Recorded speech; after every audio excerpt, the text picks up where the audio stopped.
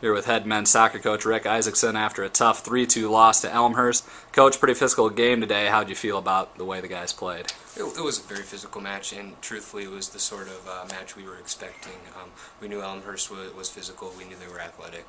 Um, we knew they were going to bring a lot of pace to the game. So, um, truthfully, that they uh, they played into the scouting report. Um, uh, I was proud of the boys' effort. I thought they battled hard all night long. Um, you know, in the end, we just fell short. Got a couple of goals from Jeremy Reinert, a junior.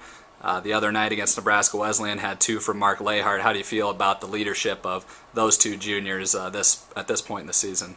You know they've they've really taken ownership of the team. They've done a great job of leading by example. Um, Jeremy and Mark's production comes as no surprise to me or our coaching staff. So we knew what we were getting in those two players and their veteran leadership. So um, they've set the tone um, and they're doing a great job of leading by example.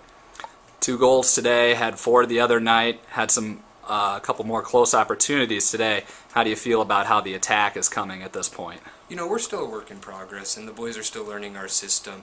Um, the good news is we found ways to be competitive with two good teams, and, and, we got the result we wanted in the first match. And the second match, things didn't go our way, but um, the boys are, are, are buying into the system, and they're learning it, and I think we're only going to continue to get better in the attack. But six goals over two games speaks for itself. So um, um, we are finishing our chances. We just need to continue to uh, to create those opportunities.